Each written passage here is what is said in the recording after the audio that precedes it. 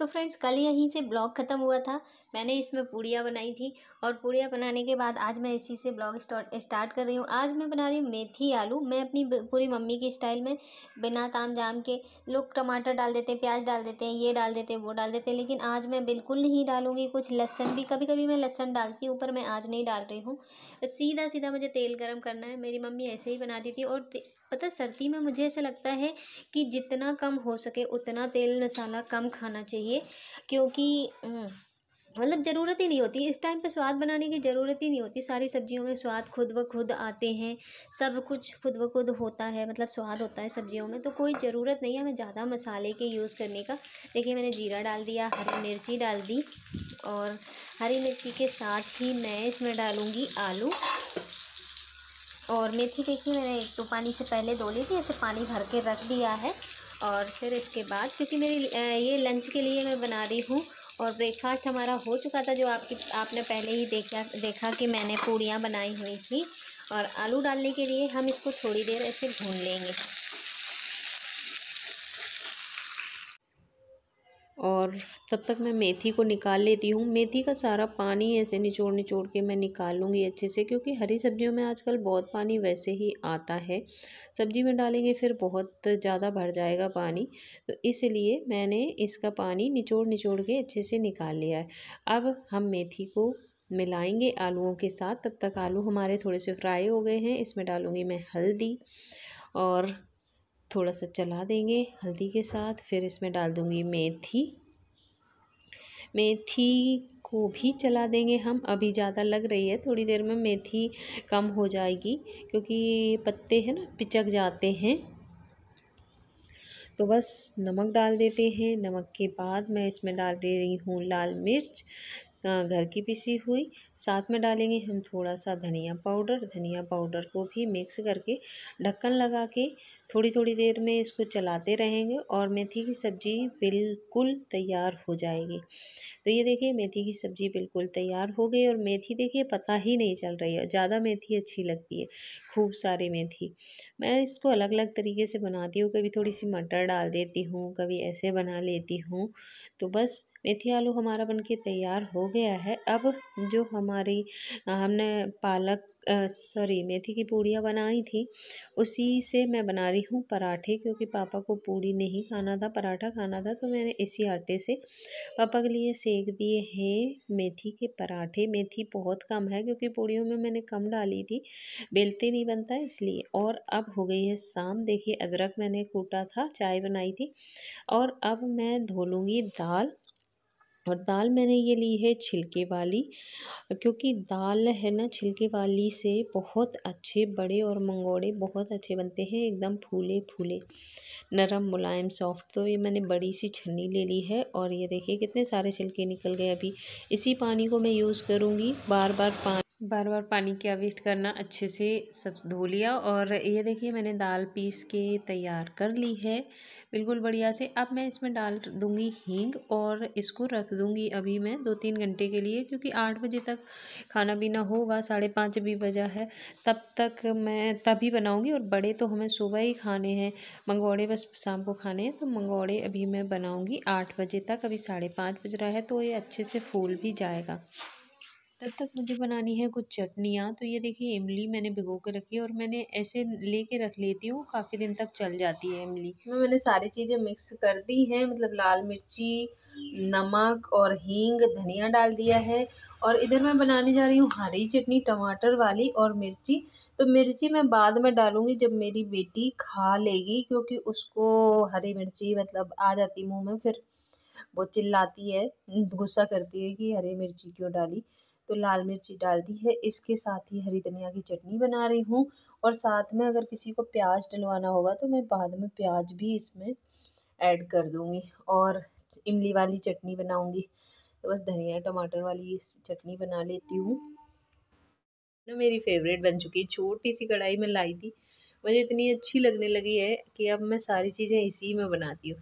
पर बहुत जल्दी जल जाती है। छोटी है ना और हल्की भी है। क्या अभी ये बना तो रही हूँ?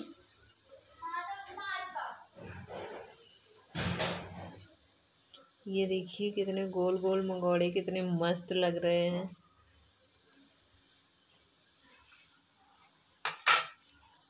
और ये देखिए मैंने दही में तड़का भी मार लिया। अब ये देखिए मैं बड़े भी बना के यहाँ पे रख देती हूँ। तो फ्रेंड्स, मैं यहाँ पर बता रही थी आपको कि मैंने लिया है एक कटोरी में पानी हाथ पे लगाएँगे पानी और ऐसे हम बड़े का जो बैटर है उसको हम ऐसे डालेंगे। ये देखिए अच्छे से, इसीलिए मैंने गाढ़ा बनाया था कि इस तरह से हम इसको हाथ पे रख के अच्छे से चपटा करके बना पाए।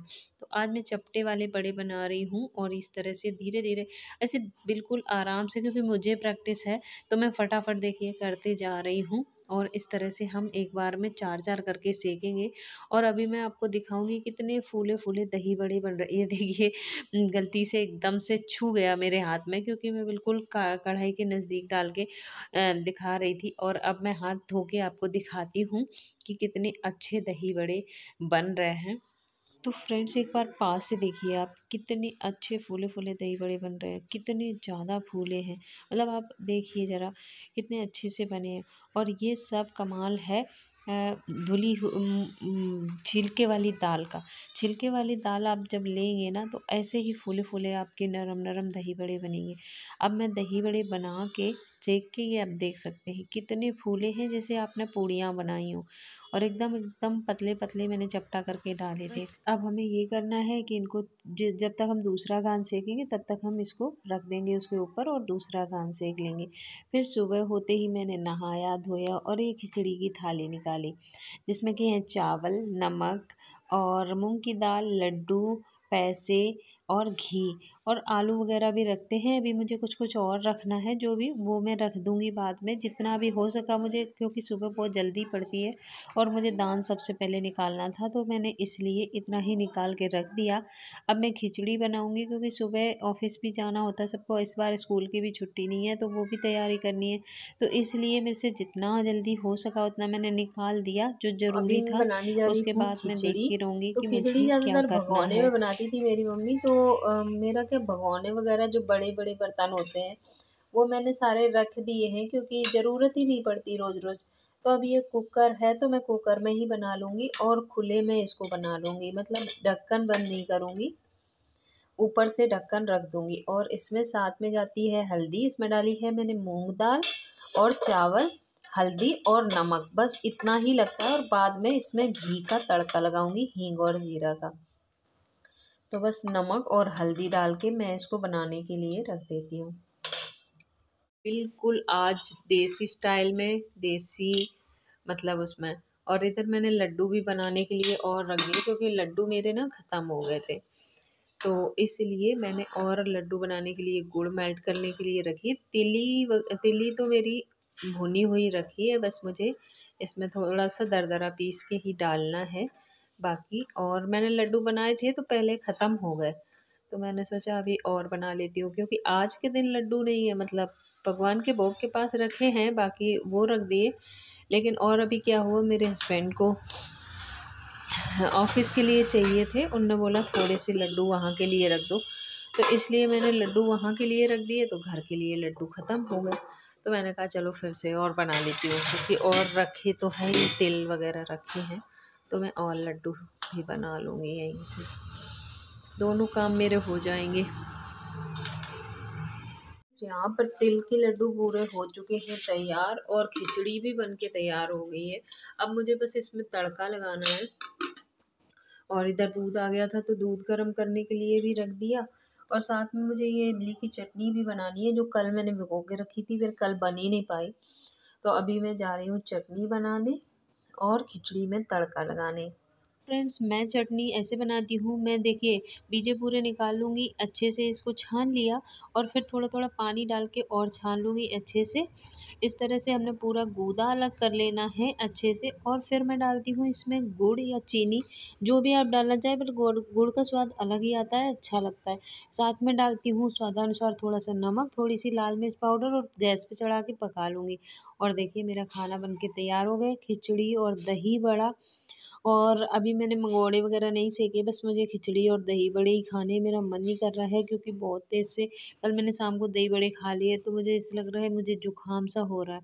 वीडियो पसंद आए तो लाइक करें, चैनल को सब्सक्राइब करें। धन्यवाद।